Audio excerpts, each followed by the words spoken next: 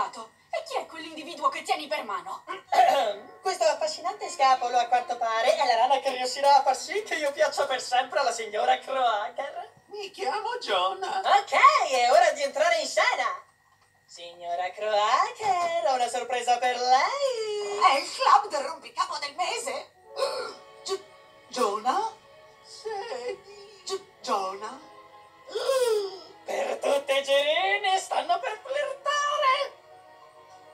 Quindi sei davvero tu? Ma che ci fai qui? Sedi Croaker, c'è una cosa che mi porto dentro e che voglio dirti da 30 anni. Sì, sì, sì. Sedi Croaker, me la pagherai cara! Aspetta, cosa?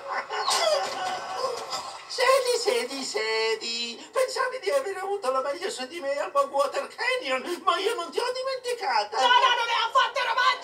La Gilda mi riprenderebbe sicuramente indietro se ti sconfiggessi. Trent'anni spesi a cercarti, ma ti ho rinascosto troppo bene. E adesso, grazie a questa piccola rana che mi ha portato dritto da te, il tuo tempo è scaduto. Ah. Avresti fatto molto meglio a lasciar stare la rana che dorme. Ti saresti risparmiato quello che sta per succederti.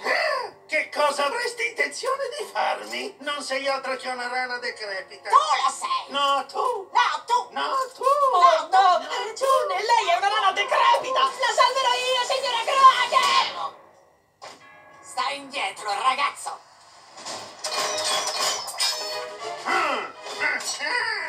Eh, rimettiti la giacca, non è un bel vedere.